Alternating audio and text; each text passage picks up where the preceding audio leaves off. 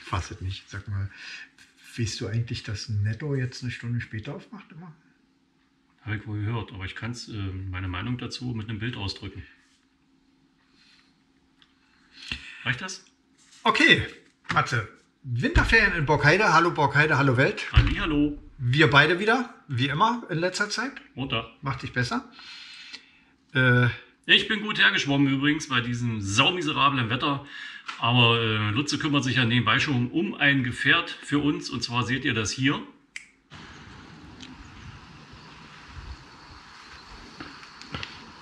Ja, hier ist unser neuer Dienstwagen von Borkheide News TV. War nicht gerade billig gewesen, aber wir danken natürlich der Gemeinde und den Mitgliedern, dass sie uns mit Spenden geholfen hat. Geile Karre, ne? Und wenn ich mir richtig überlege, äh, kümmerst du dich mal bitte um ein U-Boot. Ich glaube, damit kommen wir jetzt hier besser durch. Ja, aber wir können hinten drin schlafen. Matratze Hast du die Länge vermessen? Ja, passt. Matratze. Jo! on Tour. Burgheide News TV on Tour. Wir müssen heute ein bisschen schneller machen, Lutze. Wir haben viele Themen. Genau, wir haben lange Videos heute. Da müssen wir uns mal ein bisschen beeilen. Und zwar lostanzen, weil Ferien sind, Winterferien sind. Kein Schnee, du bist schuld. Wie ja. immer. Äh, lostanzen bei Nadine Hoffmann und zwar in den Ferien und zwar am 5.2. im Mehrgenerationenhaus in Brück von 16 bis 16.45 Uhr. Kreativer Kindertanz, drei bis vier Jahre und von 16.45 Uhr bis 17.45 Uhr. Kinderballett ab fünf Jahre. Teilnahme diesen Mittwoch kostenlos. Viele Grüße von Nadine und ihr könnt hier schon mal schauen bei www.lostanzen.de. Und ich wollte Matze auch hinschicken, aber der findet sein Tütü nicht. Aber wir haben uns schon mal angemeldet. Wir haben uns schon mal angemeldet. Nun aber leider nicht beim Lostanzen, Matze. Ja, da, das geht nun. Ich glaube, ich bin zu jung und du hast, wie gesagt, dein Kostüm nicht gefunden. Ähm, aber wir haben mal ganz kurz äh, das Fliegerheim besucht. Weil genau. da hört man ja auch viel in letzter Zeit.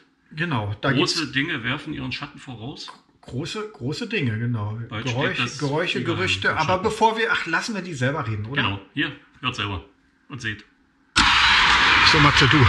Sonntagmorgen sind wir nicht ganz dicht oder was? Ja, was willst du Sonntag sonst machen? Weißt du was? Wir gehen ins Hotel. Wir gehen einfach mal ins Hotel, ja, ins Fliegerheim und äh, holen uns ein Bier. Wo wackelst Sonntag. du so mit der Kamera? Ich wackel nicht. Das ist total ruhig. Wirst du sehen. Ich glaube ja noch ein bisschen Ton.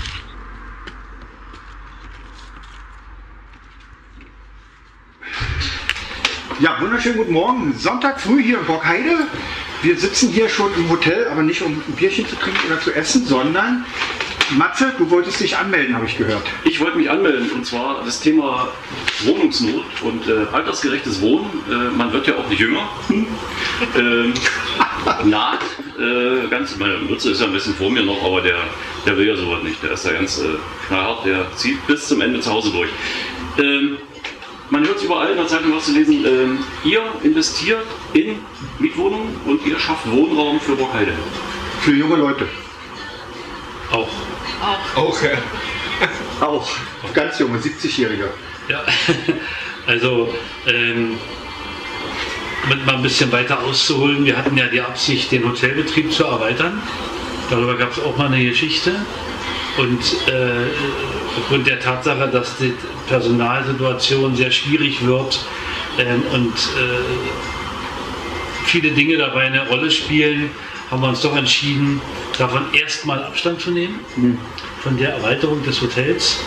Und dann kam im Laufe der letzten zwei Jahre kamen die Gespräche hier bei uns auf, dass viele Leute äh, nach Wohnungen suchen in Borkheide. Speziell auch ältere Leute, die sagen, die haben ein großes Haus und die Kinder sind weggezogen und so weiter. Naja, und so ist die Geschichte langsam gereift. Und wir haben vor zwölf Jahren das Nachbargrundstück kaufen können und haben dann überlegt, was machen wir damit. Gab viele Ideen. Und dann haben wir gesagt, na, wir können ja mal horchen. Ähm, haben uns Berater mit ins Boot geholt und haben uns dann mal Gedanken darüber gemacht, was wäre denn wenn.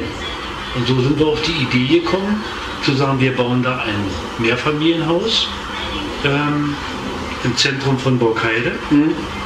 Wir haben uns mit den mit den Behörden soweit unterhalten. Wir haben uns hier mit vielen Bockheidern darüber unterhalten, auch mit dem Bürgermeister und so, wie sie die Dinge sehen. Und also bisher nur sehr positive Resonanz. Und dann haben wir gesagt, wir starten mal.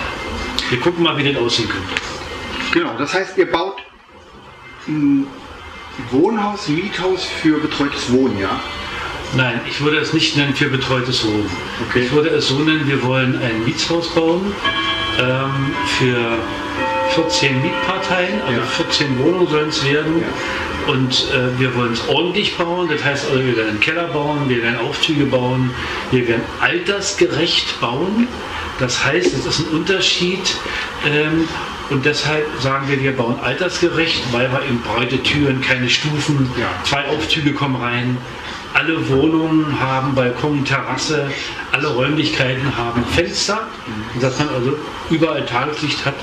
Und ähm, das Grundstück ist relativ großzügig, dass man draußen verweilen kann und so weiter. Genau, ihr steht ja da als Familie immer dahinter. Da würde mich noch interessieren, äh, wann soll das ungefähr fertig sein? Wie ist die Planung? Grob? Also die grobe Planung ist, das Bauamt versprach innerhalb von drei Monaten eine Entscheidung zu treffen. Das wäre dann praktisch im April. Und wenn alle rollen mit den Augen, das weiß ich, ja, und wenn wir, wenn im April die Bagger anrücken ähm, und die Baugrube ausheben, vielleicht haben wir Glück und wir drücken mal die Daumen, könnte mal vielleicht Weihnachten fertig sein in diesem Jahr. In diesem Jahr. Das versuchen wir zumindest. Sehr Jeder, ambitioniert, hört sich nicht nach Flughafen an, auf Jeder- keinen Fall. jeder, jeder belächelt uns und jeder äh, rollt mit den Augen, aber ich denke, also wenn man, wir haben sehr gute Partner, die mit uns zusammenarbeiten. Ja. Die Ideen sind da, wir stecken also voll in den Startlöchern. Mit allen Dingen äh, könnten im Prinzip sofort loslegen. Ja. Ähm, jetzt kommt es natürlich auf die behördlichen Genehmigungen an und dann ähm, das entspricht dann nachher dann auch dem Zeitplan, der dann vorgegeben wird. Es steht auch nicht Flughafen drauf. Also es Nein, eigentlich steht gehen. tatsächlich Mehrfamilienwohnhaus. Das heißt, das ist nicht nur für Rentner. Das heißt, wenn, wenn möglich, können dort auch junge Leute einziehen. Ganz War das genau. wirklich so richtig gewesen? Ganz okay. genau. Das hatte ich tatsächlich bisher anders so im Kopf, aber das finde ich auch wirklich Das, cool. Deswegen sitzen wir ja auch hier, damit du auch endlich mal Und aufgehört äh, das passiert jetzt gleich neben dem Hotel. Ja, genau, neben dem Waldgrundstück hier. Ähm, ich sagte ja schon, dass wir alle vor zwölf Jahren dieses Grundstück erwerben konnten und wussten nie so richtig, was wir damit machen sollten. Und jetzt ist, wie gesagt, die Idee, die, Idee, die, Idee, entstanden vor zwei Jahren, dass wir sagen, wir bauen da ein Mehrfamilienhaus und wir haben dann die Planung angegangen, was, wie, wo und wann. Und wir wollen das architektonisch so bauen, dass wir erstens so wenig wie möglich Bäume fällen. Ja. Das Grundstück soll den Waldcharakter erhalten bleiben ja. und dass das, dass das Haus auch architektonisch so aussieht, dass auch Leute, die draußen dran vorbeigehen, sich am Anblick dieses Hauses erfreuen können. Also kein Betonklotz und so, sondern mit, mit äh, Kleinigkeiten die Dinge so erwecken, dass es also ordentlich aussieht. Eine Frage dazu noch. Wohnungsgrößen ungefähr? Zwei, Ja. drei Einzimmerwohnungen? Ja, nee, wir haben, wir haben zwei Zimmer und äh, dreieinhalb Zimmer oben. Ja. Also zwischen, ich glaube, jetzt weiß ich jetzt aus dem Kopf gar nicht so ganz genau, ich muss selber erst mal gucken. Ähm, ich glaube zwischen 65 und äh, 130. ja, 65 und 130 Quadratmeter. Ja, das ist schon ganz ordentlich, Ja.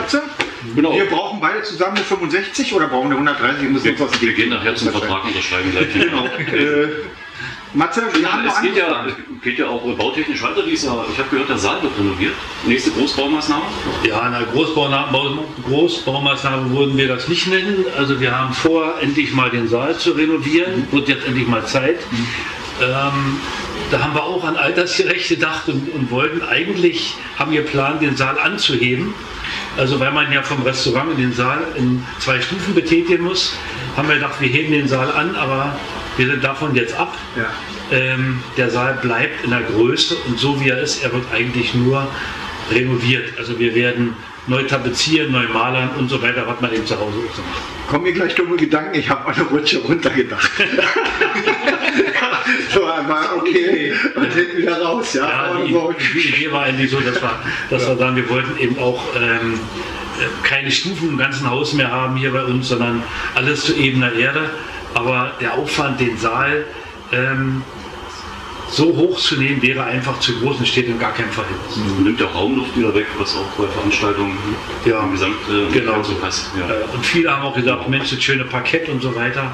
Wir hätten das nachher wieder so hergestellt, das wäre schon alles gegangen. Ja. Aber ähm, Nein, wir haben davon doch Abstand genommen. Also keine Großbaumaßnahme. Wie schnell wird es durchgezogen? Wir beginnen am 24. Februar mit den, mit den ersten Malerarbeiten und müssen fertig sein am 25. März. Genau. Gut, und dann geht es auch ähm, dieses Jahr weiter mit Veranstaltungen wie Sunday Lunch. Genau, es gibt weiterhin, der neue Sunday Lunch Flyer für 2020 ist raus, Ja. ähm, wird rege mitgenommen und die Leute sind sehr interessiert daran und das geht dann wieder ganz normal so weiter. Genau, und die Daten findet man ja, wie man hier auch eingeblendet sehen kann, unter www.fliegerheim.de Genau. unter der Website. Und äh, da haben wir noch eine Frage, und zwar böse Stimmen unten. Silvester wollt ihr eure Ruhe haben. Es gibt keine Silvesterpartys mehr am Fliegerheim. Das, das sagen wir jedes Jahr seit fast 30 Jahren, wenn wir Silvester gemacht haben. Unsere letzte Silvesterveranstaltung war die 30. Silvesterveranstaltung. Das sagen wir immer, wenn wir nach 24 Stunden Arbeitszeit ohne Schlaf ins Bett gehen. Also nächstes Jahr machen wir das nicht, der Aufwand ist zu groß. Aber ich kann die Borkeiler beruhigen und wir werden also in Zukunft weiter. Wir können gar nicht, weil wir haben jetzt schon wieder so viele Reservierungen für Silvester, dass wir einfach das gar nicht absagen können. Äh, Also es wird weiterhin bei uns Silvesterveranstaltungen in dem Rahmen gehen, wie wir es die letzten Jahre auch hatten. Also schon ausgebucht, so fast. Ja, ich muss mal einmal auf. Guten Morgen. Ja, da ist er wieder, wie man sieht, äh, immer gefragt. Hier ist immer, ist immer was los hier, auch wenn wir hier mal filmtechnisch unterwegs sind. Er hat vergessen, die Tür zuzuschließen. Ja, der schließt nämlich immer ab, wenn er keine Lust hat, aber es ist nicht nur bei ihm so. Aber wie man hier sehen kann, steht natürlich die ganze Familie hinter diesen Projekten. Das ist ja nicht wenig. Also ihr investiert natürlich weiter in Borgheide, was ich total cool finde, weil es ist eben auch für Borgheide und Genau so ist es. Umgebung, weil das Hotel ist ja nicht nur für die Borgheider da, sondern für äh, die ganze Gegend hier eigentlich und weiter weg. Ne? Ja, das waren ja eigentlich unsere hauptsächlichen Fragen, Matze, glaube ich. Oder hast du noch eine Frage? Wolltest du ein Bier oder Sekt? Oder, äh, Ja, aber wir gucken mal. Ganz toll bei Wasser heute immer noch. ich weiß aber, es gibt dieses Jahr wieder Kürbissekt. Ne? Kürbisse gibt es auch. Gut, das war es erstmal dazu. Also ihr habt es gehört, hier äh, große Dinge werfen ihren Schatten voraus, hauptsächlich hier aus Fliegerheim, weil von da kommt die Sonne und die Schatten. Und wir werden schauen, was es wird und ob es tatsächlich was wird und wir Silvester im neuen Heim feiern Im werden. neuen Saal. Im neuen Saal. Im neuen Saal. Kommt dann Saal und in den Keller rein? Nein, kommt nicht. Okay, vielen Dank. Bis später. Danke. Tschüss. Vielen Dank euch. Dankeschön. Na Matze, da hast du aber den Ton verkackt, oder? Ja, Ton ist da drin ein bisschen kompliziert, weil der Getränkekühlschrank so vor sich hin blubbert. Ganz im Hintergrund war noch die leise, dezente Dudelmusik. Und ähm, ja, was soll ich sagen? Meine Schuld. Man kann es aber nicht anders sagen, es funktioniert noch im Fliegerheim, denn der Bierkühler läuft noch. Ja. Ne? Und Ducksteiner Bier, Duckstein Ich habe Kaffee getrunken übrigens. immer noch. Du, ja? Ja, hast du gesehen, die Tasse.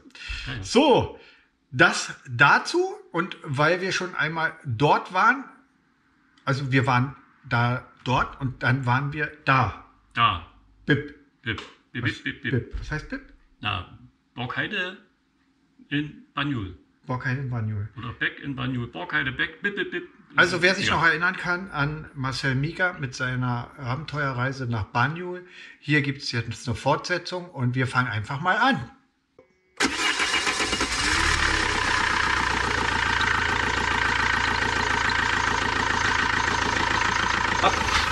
Ab Bip hier und zwar am Sonntagvormittag schon wieder in Borkheide unterwegs. Jetzt sitzen wir hier in so einem ja, äh, Lieferwagen hier. Bip sagt euch was, ne? Ja, ein bisschen. Das Ja, sagt uns was. also erstmal äh, hier vorstellen, wen wir uns vor, hier, äh, vor uns haben hier. Erstmal Ich bin Christiane, Chrissy, Christiane Warelberg. Farelmann. Farelmann, ha! Jawohl. Mann, nicht Berg. Und äh, Bernd Laufenberg, hier Da aus dem ist der Berg versteckt. Und äh, ja, was habt ihr hier vor mit der Karre? Wollt ihr jetzt Umzüge fahren oder was? Nee. Nicht? Äh, wir wollen damit nach Afrika, nach Gambia. Ja. Und dann bleibt das Auto da, wird versteigert zu sozialen Projekten, die dort unten gemacht werden. Und dann fliegen wir wieder nach Hause. Start ist in Dresden. Zwei Wochen, eine Woche? 20 Tage Fahrzeit und dann noch zwei, drei Tage unten in Gambia. Genau, und äh, wie man hier sehen kann, ihr schlaft hier in dem Auto hier unterwegs, sind also nichts vor, mit ja. Hotel oder so. Äh, Zwischen halten wir uns mal. frei. Meistens wollen wir eigentlich im Auto schlafen. Ja. Und äh, jetzt unten in Gamme haben wir allerdings für die letzten drei, vier Tage, weil ja auch teilweise das Auto dann schon weg ist, ein Hotel gebucht und unterwegs. Wir schauen einfach, wie es sich entwickelt, wie das Wetter ist und entscheiden dann. Genau, ist ja nicht mehr so lange hin. Am 29. Februar ist große Party hier bei uns auf dem Marktplatz. Da Richtig. ist die Verabschiedungsparty mit Richtig. euch beiden natürlich, mit Catering, mit äh, Getränken und dergleichen Genau. mehr, sodass wir natürlich dort viele Gäste sehen wollen. Und ihr habt das angelehnt, der nennt sich BIP hier, ja? BIP, Ja, dich? ist back in Banjul. Ja, Und äh, ist eine Anlehnung an Marcel. Ja. B2B Racing hat, hieß ja sein Team. Ja. Also Baukaide to Banjul. Und da er schon unten war, haben wir gesagt, jetzt ist Baukaide wieder zurück. to look Und da, so sind wir auf BIP gekommen. Genau, also die beiden sind mit dem Auto wieder nach Banjul unterwegs und natürlich, äh, wie ihr gehört habt, war Marcel Mika schon mal dort gewesen, wenn ihr euch noch entsinnen könnt. Das ist jetzt gut über ein Jahr her. Da haben wir mal eine Veranstaltung im Fliegerheim gemacht und natürlich gibt es die Videos noch, äh, könnt ihr auch bei uns auf der Website sehen, beziehungsweise in unserem YouTube-Kanal. Auch dort findet man noch Videos von dem Abenteuer von Marcel nach Banjul und wir werden natürlich die beiden hier, so wir denn können, mit begleiten und werden Infos bringen. Weiterhin natürlich montags immer, beziehungsweise schauen, wie wir das schaffen. Von dem Abenteuer nach Banjul. Und äh, sag mal, wie alt ist die Karre? Die ist Baujahr 2002, Ja. Und, Und, was äh, hat die so für Uhr? 360.000. 360.000. Und du hoffst, dass sie noch bis darunter kommt? Schafft Äh, Plan B, wenn du stehen bleibst? Äh, abschleppen. Abschleppen. Na klar, Mit du schleppst dann? Oder ziehe. Du ziehst. genau. Ja, wird spannend. Wie gesagt, wir bleiben am Ball und schauen mal für euch äh, mal äh, nach, wo die beiden sich aufhalten. Wir haben ja Informationen, kriege ich immer von Chrissy. Du bist hier die Marketingchefin von dem. Genau. Ich mache ein bisschen WhatsApp. Du machst ein bisschen WhatsApp und äh, wir halten euch auf dem Laufenden, wo die sich rumtreiben in der Welt und bringen das natürlich, ob sie heil ankommen oder nicht. Und wollen natürlich jetzt erstmal sehen, dass wir die Veranstaltung bis zur Abfahrt gut über die Bühne kriegen. Jo. Ja? So, so viel kurz dazu. Wir wünschen euch noch einen schönen Sonntag. Natürlich am Montag. Da ist der Sonntag vorbei. Ihr müsst noch arbeiten bis dahin Jawohl. oder habt ihr schon Urlaub? Nee. Nein. noch So viel Urlaub haben wir arbeiten denn doch nicht. So, na dann viel Spaß und äh, euch einen schönen Tag. Bis nachher. Tschüss. Tschüss. Tschüss.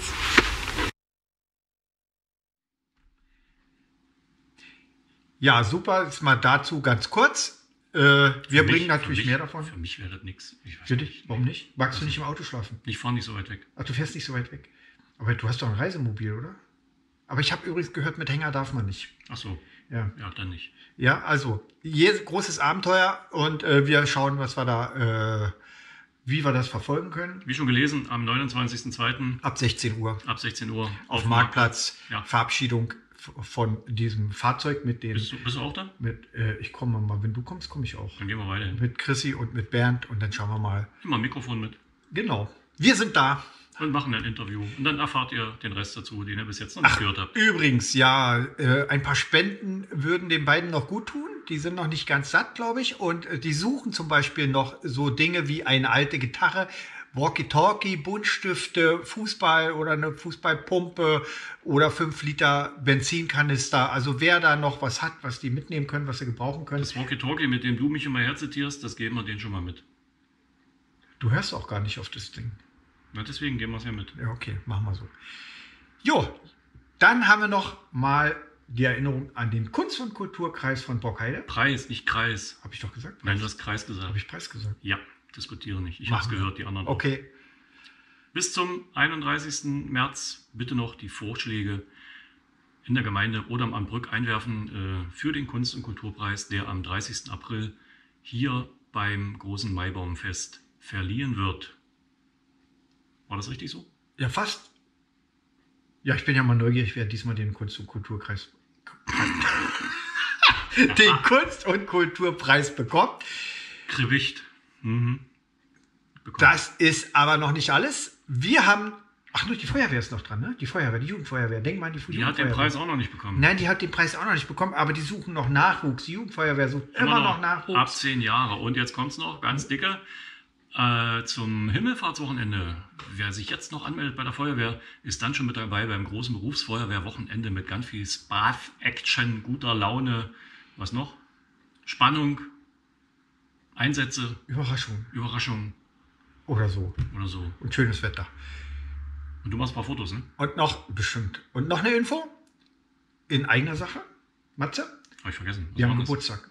Ach, wir haben Geburtstag. Ja. Und zwar am 21.03. wir beide, das heißt nicht wir beide, BNTV. Mit vier können wir doch Vier wieder beim. Lostanzen mitmachen. Ne? Vier, mit vier können wir bei Lostanz mitmachen. Vier Jahre und äh, wir haben schon äh, den Jugendclub.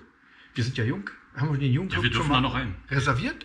Und na, mit vier Jahren, Am 21.03. am 21.03. Ein Samstag treffen wir uns da wieder. Wer uns dort begleiten will und mit Ja. uns feiern will, kommt einfach vorbei. Aber da Ab reden wir 15 noch Uhr mal mit später. der Schneeschaufel machen wir den Weg frei, machen das Feuer schon mal an. So ist es. Und jetzt noch das Wetter, Matze. Ach, was soll man sagen? Es regnet und es regnet auch am Dienstag und danach hört es ein wenig auf zu regnen. Und äh, zum Glück haben wir aber nicht so ein Wetter wie im Süden von Deutschland. Da sind ja mittlerweile im Allgäu schon die Skipisten gesperrt, weil da nur noch Regen runterkommt und der Schnee auch schon gar nicht mehr so richtig auf den Pisten dort befahrbar ist. Das Problem haben wir überhaupt nicht hier mit dem Skifahren. Also es, wir können gar nicht Skifahren hier, weil überhaupt kein Schnee liegt. Und äh, die nächsten Tage 4 Grad, 5 Grad tagsüber. Richtung Samstagnacht könnte es auch mal wieder Nachtfrost geben, um die minus 1 Grad, minus 1 Grad. Aber ansonsten halten wir einfach durch, wenn wir rausgucken, es bleibt grau. Aber die Tage werden länger, das ist positiver, was man aus diesem Wetter noch herausziehen kann. Es wird Genau. langsam heller. Und die Sonne schien. Und du hattest nicht recht äh, mit der letzten Woche. Da war es doch nicht ganz so schlecht, das Wetter. Ja, Aber äh, immer ich bin mir da mal mit dem Schnee übrigens nicht ganz so sicher, weil ich sehe ab und zu im Wald immer welche unterwegs sind, schon mit Skistöckern unterwegs oder so. Das ist doch falsch. Was machen die da? Die äh, lockern den Boden auf, damit Ah, die. okay. Damit, Die haben auch keine Skier bei, aber Skistöcker. Okay. Das, wir haben gerade keine Sportabteilung zurzeit. Es geht erst am das 18. Wetter? Februar wieder los, wenn Fußball wieder ist. wir haben noch Sportruhe, genau, Winterruhe sind eh Winterferien. Viel Spaß euch übrigens bei den Winterferien. Und übrigens, äh, wir verabschieden eine Borkheiderin nach Australien. Lea, komm gut rüber nach Australien, halbes Jahr Au pair. Alles Gute, bis dahin und dann sehen wir uns im halben Jahr wieder. Genau, und du weißt ja, äh, wie du äh, Neues, Neues aus Borkheide erfährst. Einfach in Australien Borkheide News TV anschalten. Das funktioniert dort nämlich auch mit Genau, YouTube. da kannst du auch mal allen Leuten wieder zeigen, wo du herkommst. Und da kannst du ab und zu mal ein Video mit deinem Handy machen und uns das schicken. Das würden wir uns wünschen. Ja. So. Tschüss. Und jetzt? Ja, und das war's jetzt wieder bei Borkheide News Denn wir haben TV. heute ganz wenig Zeit. Schöne Woche für euch. Äh, bis zum nächsten Mal. Bis zum nächsten Mal, Matze. Kommt gut rum und Lutze. Und tschüss. Tschüss.